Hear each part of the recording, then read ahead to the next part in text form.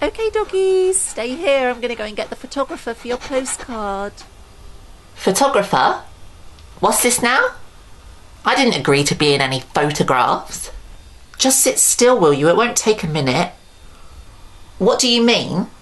This is the early Edwardian period. It takes flipping ages to take a photograph. Can't expect a cute little doggy like me to sit around that long. Gosh, we just do it for Mary.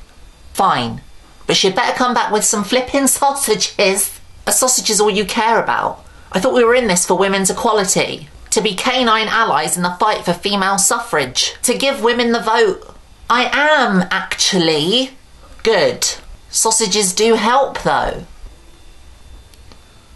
What? I'm a dog. I like sausages. I'm not going to flip and apologise for liking flipping sausages, am I? I can see where you got your name. You what? Nothing. No, what did you say? I said I can see where you got your name from, Simple Simon. Oh, that's a low blow and you flipping well know it. Besides, it's a bit rich coming from the likes of you. Wee Willie Winkie. It's still better than being called Simple Simon though, isn't it? Mary respects me. Mate, you've got three names and they're all gross. Wee, it means small. Willie, yeah, short for William.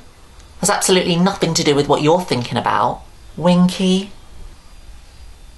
Shut up. Well, all I'm saying is I wouldn't put up with a silly name like that. I'd be like, Actually, Mary, I'm not going to pass you any secret messages while you're in Holloway prison for evading paying dog tax. Not until you change my name to something a little bit more sensible. Yeah, well, unlike you, I'm loyal. And adorable. And true. That's what Mary said. Yeah, well, you can add stuck up to that list. Okay, doggies, watch the birdie. Three, two, one.